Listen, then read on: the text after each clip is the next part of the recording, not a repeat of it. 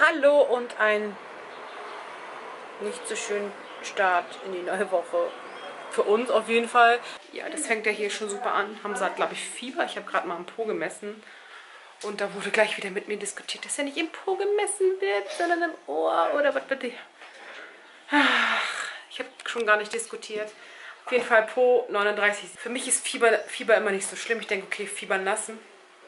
Aber es kann halt auch andere Gründe haben, weshalb der fiebert. Deswegen einfach mal kurz abklären lassen. Deswegen fahren wir jetzt kurz ins Krankenhaus. Also ich befürchte einfach nur, dass er Zahl kriegt. Aber um nochmal zu sicher zu gehen, vielleicht hat er eine Ohrentzündung oder irgendwas mit dem Rachen. Keine Ahnung, war verschwitzt und war irgendwie, ja, keine Ahnung. Bist du krank, Ole? Hadi bahay.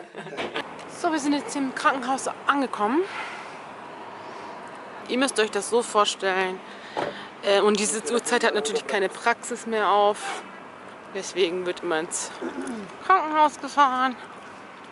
Jetzt wollen wir mal schauen, was der kleine Mann hat. Aber wie gesagt, ich befürchte, es ist der Zahn. Hier ist auch schön ausgeschildert, wo man lang muss.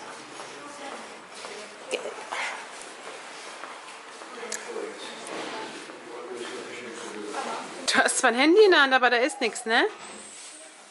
Ja, auf jeden Fall hat der Arzt ihn jetzt untersucht. Er meinte, da ist jetzt nichts äh, Dolles. Komm, açma Sami. Açma. Hasta yani yapacak bir şey yok. Ja und? Und? Hasta yani. Hasta dir şimdi telefonu mu açmak lazım? Bugün hak etsin. Da seht ihr wieder Unstimmigkeiten zwischen uns. Ich sag kein Telefon, er sagt Çekme Telefon. kardeşim çekmeyin ama. Ja. Tamam oğlum tamam. Aber mit wem rede ich denn? Auf mich wird einfach nicht gehört. Es ist eine Ausnahme, er kriegt heute das Handy, na toll. Dann gewöhnt er sich da voll dran und will das nur noch haben, wenn er heult. Auf jeden Fall hat der kleine Pups jetzt nichts Gravierendes. Er hat jetzt eine kleine Spritze gekriegt, ähm, vorbeugend. Verstehe ich jetzt auch nicht. Ich bin zwar kein Arzt, aber mein Mutterinstinkt sagt jetzt einfach gar nichts machen. Fiebern lassen. Oh, chiller Baby. Düştü bayağı ya. Yakışıklı adam. Yakışıklı adam.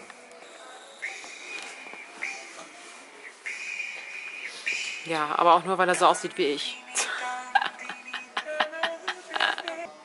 Da ruft einer an. Da. E- Efendim anne. So, wir sind jetzt hier gerade in der Apotheke. Und da drin ist Rambazamba. Es ist so viel los. Ich kann es euch jetzt gar nicht zeigen, weil hier einer schön davor parkt. Aber ja, wir wollten zur Sicherheit noch mal was zu Hause haben, falls doch irgendwas ist, dass wir dann was da haben, Zäpfchen oder so. Ich habe auch heute so ein bisschen Bauchschmerzen. Ich weiß nicht, ob das ist.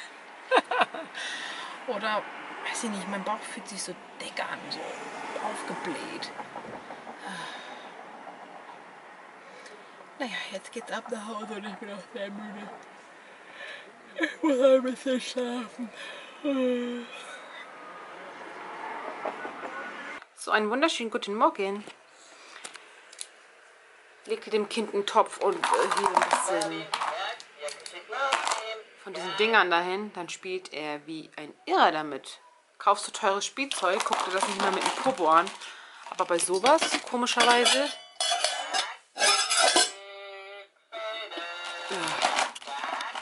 Ja, also unsere Nacht verlief relativ gut. Ich habe hab ihm jetzt nichts weiter gegeben und er, hat, er ist zweimal aufgewacht, was er sonst normalerweise nicht macht, aber mein Mutterinstinkt hat mir einfach gesagt, dass er eigentlich nichts hat.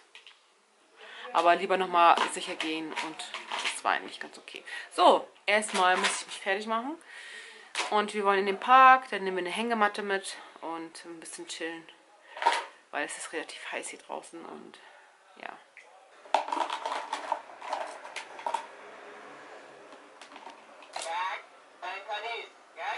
Delikadirolan. Ich danke euch für den Tipp mit dem Zukleben des Mikrofons. Ey Leute, es war der beste Tipp überhaupt. Jetzt ist es wenigstens nicht mehr so laut. Hier, Inek. Ich wünschte, das scheiß Spielzeug hier wäre mir auf, auf Deutsch gewesen, aber leider. Ist es ein bisschen schwierig, hier deutsches Spielzeug zu finden. Ati. Ich, hab, ich war hier gerade mich am Schminken und guck mal, Hamza hat hier einfach mal meine Beauty-Blende abgebissen. Aber ein Glück konnte ich das noch aus seinem Mund entfernen, weil das ist ja auch voller Bakterien. Ich glaube, hier wird einer Make-up-Artist, wenn er groß ist. oh, mein schöner Beauty-Blende. So, meine Lieben, unser Ausflug ist leider ins Wasser gefallen und wir haben leider Besuch gekriegt und dann konnten wir leider nicht zum Picknicken und nicht mit der Hängematte raus, aber egal. Wir waren gerade beim Fotografen und ich muss sagen, gefällt mir absolut null. Irgendwie habe ich das Gefühl, das bin nicht ich. Oder man sieht sich einfach im Spiegel immer anders. Ja, ich brauchte auf jeden Fall ein paar Passbilder, weil wir morgen was Großes vorhaben. Ja, ich bin auch schon sehr, sehr aufgeregt und seid gespannt, was das ist, dann würde ich sagen. Sehen wir uns morgen. So, mein Lieben, ich bin jetzt noch bei Oma und ihr müsst das hier sehen. Das ist ein... Die Bude ist voller Frauen.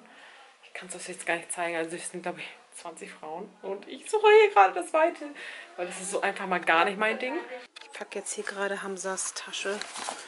Beziehungsweise eigentlich ist die schon gepackt. Jetzt hier nochmal Klemmelten. Die ist hier noch. So, ich bin jetzt raus aus zu Hause. Hamza habe ich eingepackt und wir sind jetzt unterwegs, was ganz Schönes machen. Auf jeden Fall 20 Weiber zu Hause und dann bist du da die Braut und dann wirst du erstmal ins Kreuzverhör äh, genommen. Hatte ich jetzt gar keinen Bock drauf, deswegen bin ich gleich raus. Mag ich ja sowas gar nicht. Also das ist ein türkischer Küken. Das heißt, die Frauen treffen sich einmal im Monat und geben jedes Mal, je nachdem, wie viel sie veranlagt haben, sagen wir mal jetzt 100 Lira, hier bei jedem Treffen 100 Lira dann an den Gastgeber. Also ihr müsst euch das vorstellen, wenn dann 10 Leute kommen, hat man dann als Gastgeber auf einmal äh, 1000 Lira in der Hand. So, aber beim nächsten Besuch, einen Monat später, musst du dann die 100 Lira wieder abgeben. Also es ist eigentlich so wie so ein Kredit, ne? Dann treffen die sich halt alle einmal im Monat und ja, Lästergruppe würde ich jetzt einfach mal sagen. Also es ist so einfach mal gar nichts für mich. Wir sind jetzt hier angekommen und zwar Amt in Aksaray. So, und die schöne Nachricht ist, dass ich mir was gekauft habe. Ja, da bin ich jetzt auf jeden Fall mit meinem Ausweis hin und das wird jetzt sozusagen auf mich geschrieben. Ich weiß jetzt nicht, wie das auf Deutsch heißt. Ich habe es total vergessen. Ja. Aber was es ist, das habe ich mir mal gekauft.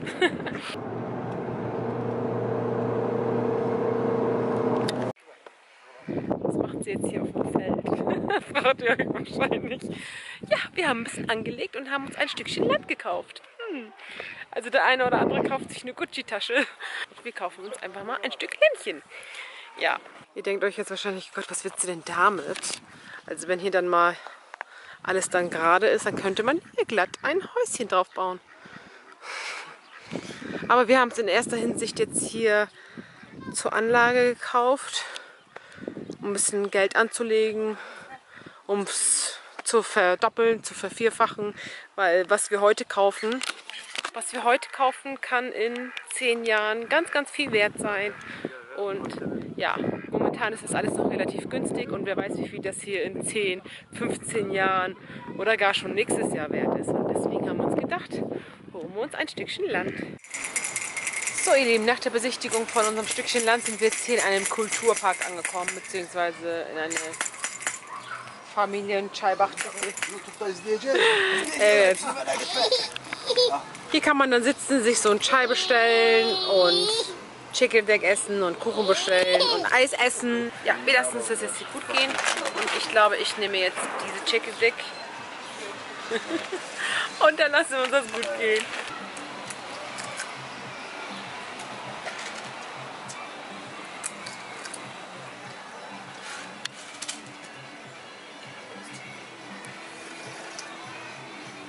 Oh.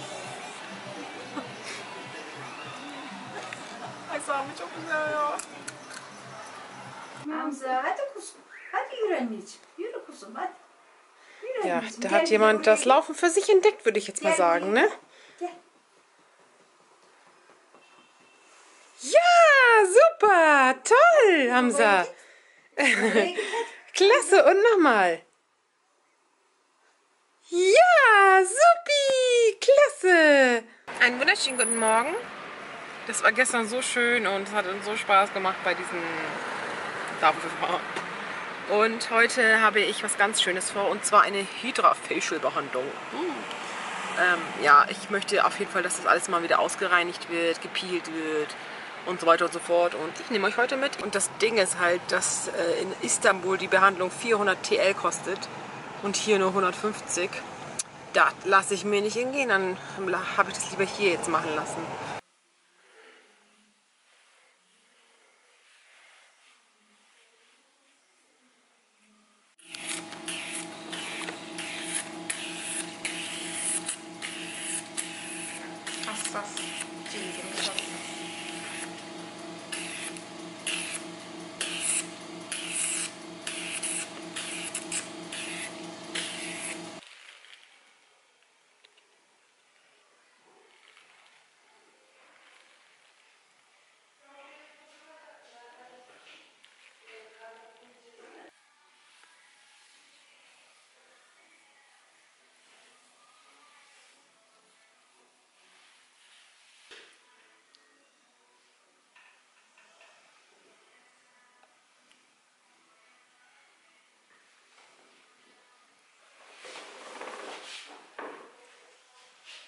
Nereden beri?